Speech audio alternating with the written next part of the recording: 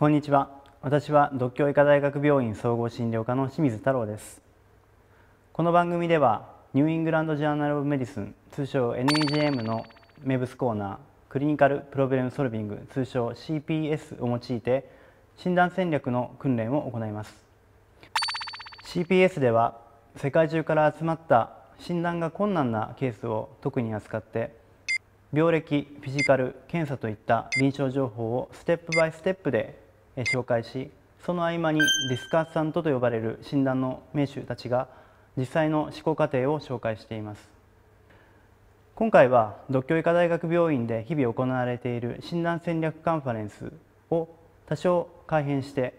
病歴そしてフィジカルを中心とした臨床情報のところまでで一体どのように診断の道筋をつけていくかということを診断戦略の技法をのっとって行っていきたいと思います。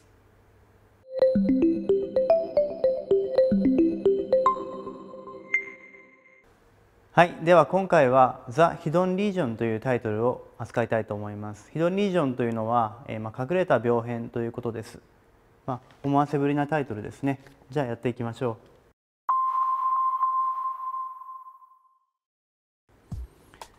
えーと、患者さんは24歳の女の方ですね。この方がもともとは特に起用はないということなんですが左足が痛いということで来られました、まあ、これまでですね、えー、5キロの、まあ、マラソンですかね、えー、のトレーニングをしてた人が2日前から足が痛いと。左足が痛い。それが、えー、お腹ですね。それから、えー、腰の辺りお尻の辺りまでですね、えー、痛くなってしかもむくんできてしてなんと息切れまで起こしてきたと。動作での呼吸困難ということですね。そして胸が痛いこともないと。こういう症状ですね。でこの方特に外傷の起用はないということですね。でこの時はピッティングデーマですね。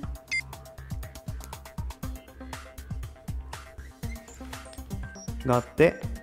太ももから足までえー、リースエマがあってしかもあったかいとこんな症状みたいですさあ、えーと、これで第一段落が終了ですが、まあ、どう考えるかということですね。まずですね、えー、診断戦略のカンファレンスホワイトボードの記載ですけども strategy それから differential diagnosis といって、まあ、こういうふうに、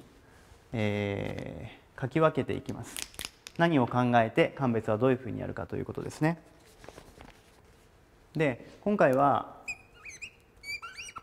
2日間の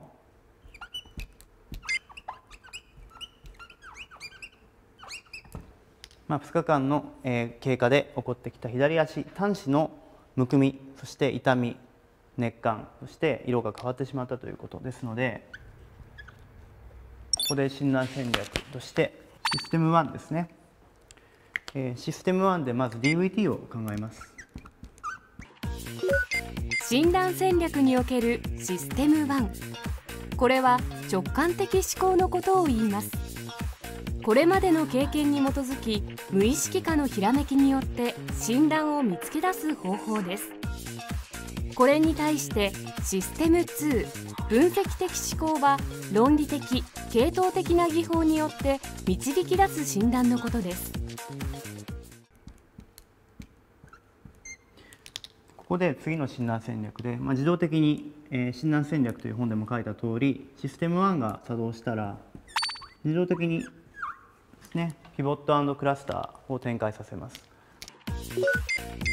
診断戦略における pivot cluster strategy。これは直感的診断で導き出した疾患を軸にその疾患に近い鑑別疾患群を想起していく方法です。疾患の見逃しを防いで鑑別の精度を高めることができます。